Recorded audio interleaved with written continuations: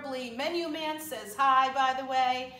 So I was asked to do a virtual cooking class with you guys. So I chose a recipe that I think you all enjoyed last summer, chewy chocolate brownie cookies. So you should have gotten the recipe already from Leslie and have everything prepared as I do.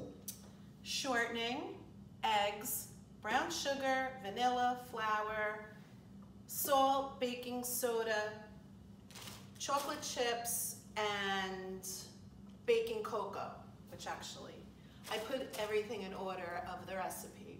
So this actually goes after the flour.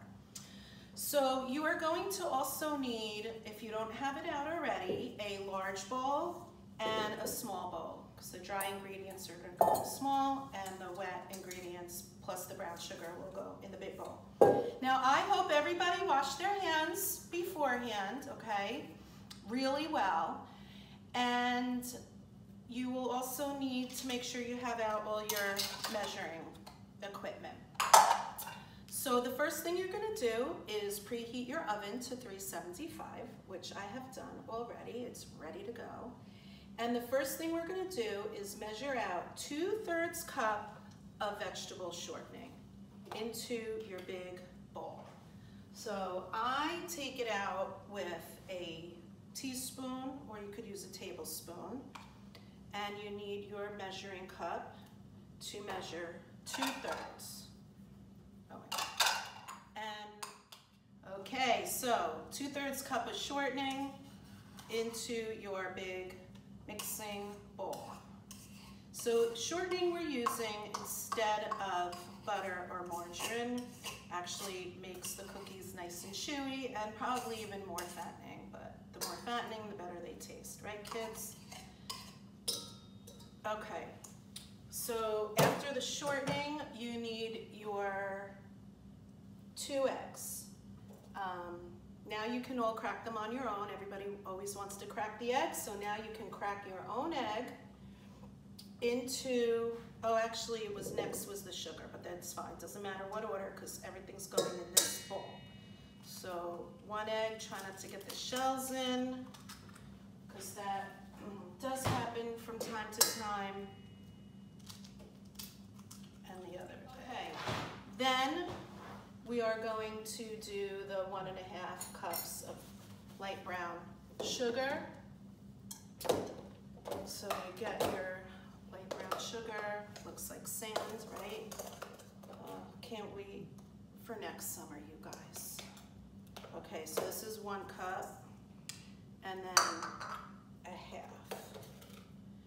And I've been baking all summer, especially chocolate chip cookies coming out delicious.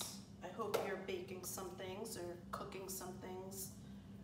Next is one teaspoon of vanilla. And you go. You know, I always pour it over the bowl. If you get a little extra vanilla in the bowl, it's fine. Okay. Next is a tablespoon of water. And turn it. Okie doke. So now you're gonna mix it.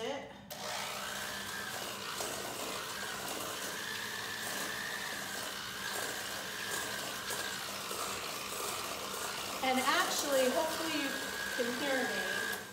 But actually, if you see on your directions and you're probably saying, no, Debbie, you're doing it wrong, you're doing it wrong, and you're right.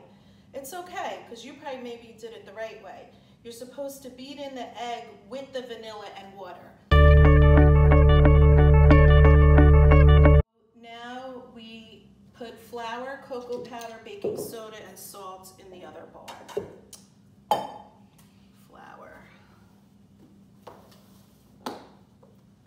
one and a half cups.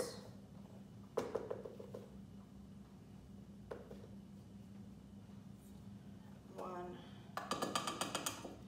And I used, no, this was fine. So we just used it for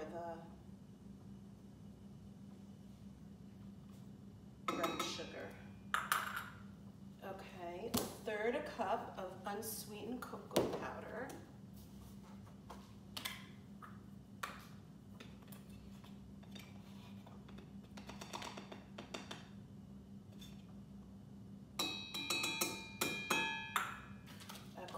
teaspoon of baking soda.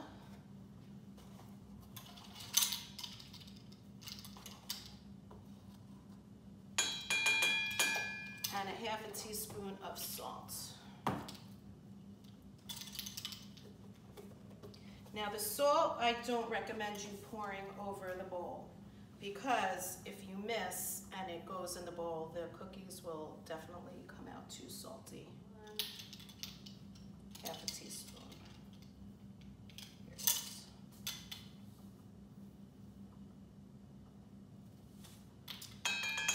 Now, we're gonna mix it up.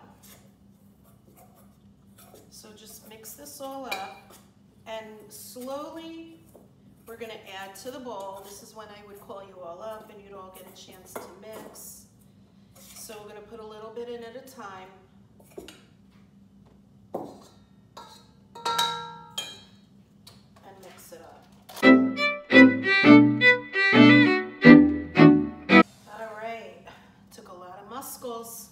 All right, last but not least, chocolate chips, two cups.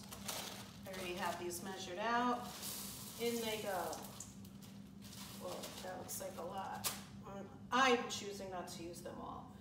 Now, when I put in the chocolate chips, you don't have to mix, uh, use the mixer. So just stir it all in. Stir it all up. Get those chocolate chips in there. And yeah, probably around now, I'm going around giving you all a chocolate chip because you're all asking if you could have one. And usually I always give you. Okay, so now that it's all mixed, you are going to put your dough on an ungreased cookie sheet. Oh, I got it.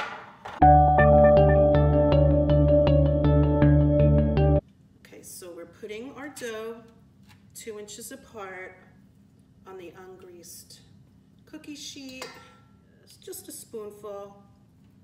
Just make sure they're apart enough so that they don't run into each other. Probably, usually we can fit a dozen on one sheet.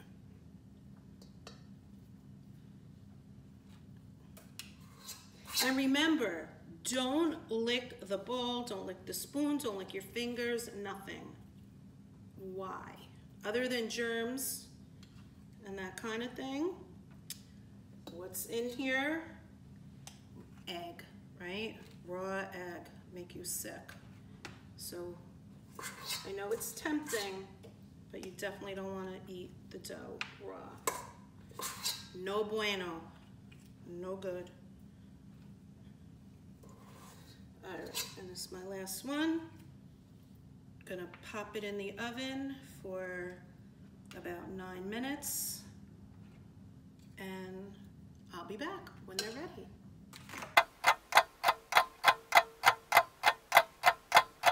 All right, nine minutes is up. Let's see what we got. Now, listen, this is hot. Don't do this by yourself unless you're hmm, galealing up only. All right. I put it on the baking sheet on the cooling rack.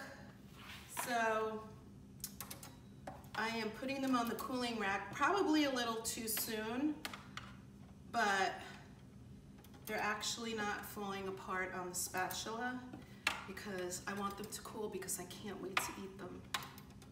They look so good. Alrighty. All right, so I'm gonna let them cool for a minute and then we're gonna taste them together.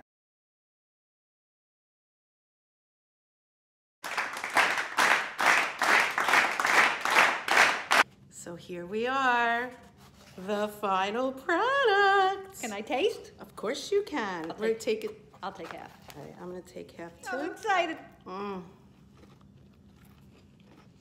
Mm. Oh my god. Good job, Deb. Yay. Mm. Mm, Bye, mm, everybody. mm. Get a cup of cold milk, kids. Yum. Hope yours came out as good. Bye. Have a great rest of the year. Stay Bye-bye. well. Miss you.